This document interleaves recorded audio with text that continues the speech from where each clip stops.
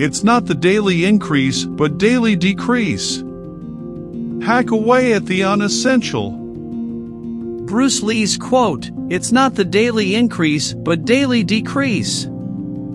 Hack away at the unessential emphasizes the importance of simplicity and focus in life.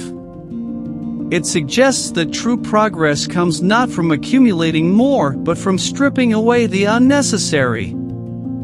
The story it tells about life is one of prioritization and efficiency. In a world filled with distractions and excess, the quote encourages a mindful approach of constantly refining and decluttering. By eliminating the non essential, one can channel energy and efforts into what truly matters, fostering a more purposeful and effective life.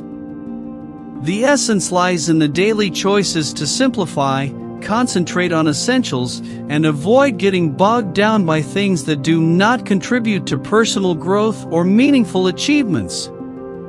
It's a philosophy that promotes a streamlined and intentional way of living. If you found this video inspiring, give it a thumbs up, subscribe, and hit that notification bell for more insightful content. Thanks for watching.